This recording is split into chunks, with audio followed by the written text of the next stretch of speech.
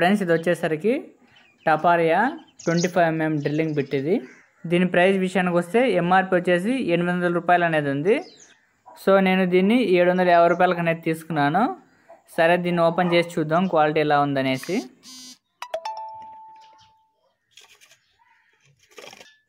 So ఇక్కడ చూడండి drilling bit అనేది స్టార్ మోడల్లో వచ్చింది.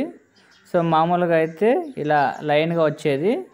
సో ఇది వచ్చేసరికి డబుల్ అనేది వచ్చిందనమాట. సో ఈ డ్రిల్లింగ్ బిట్ అనేది బాగుంది.